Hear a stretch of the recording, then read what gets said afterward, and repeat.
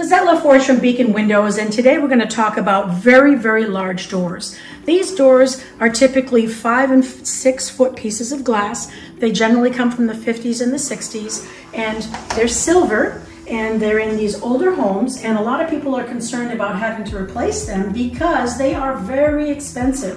When you have to replace one of these very large doors, you also end up with many more panels. This is an 18 foot long door system that if you had to replace it would probably be now instead of three panels, at least five. And most people don't want that much interruption in their view.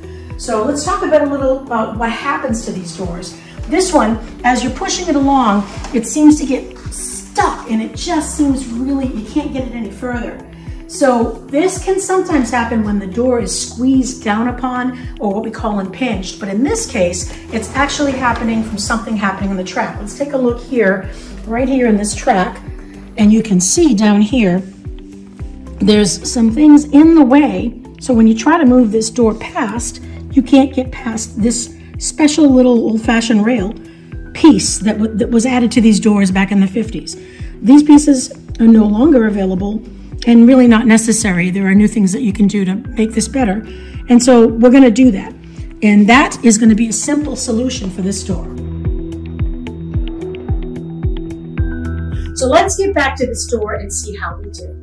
It now moves quite easily. As you can see, it's a single push. We're not stopping where we used to stop, and we can keep going all the way to the end.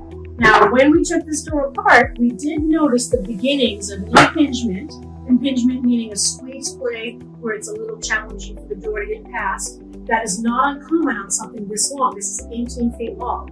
Even an 8 foot door can sometimes be impinged. So I want to show you in this area what that kind of looks like. So if you ever start to see something like that happening, this can happen on doors of this age in homes of this age. This is very minor considering this is from the 1960s.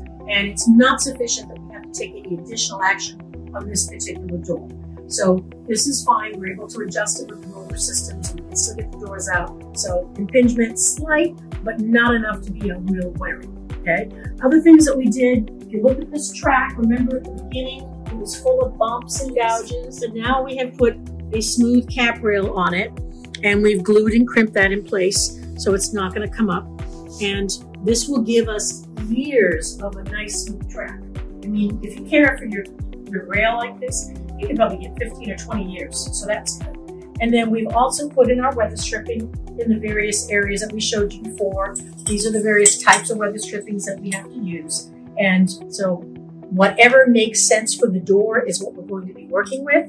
And in this case, we ended up with three different styles uh, because we want to keep it from rattling, we want to keep it aligned, we want to keep it resistant. Because even though this happens to be a porch, it can be hotter out here than inside, and we want to keep everything um, efficient.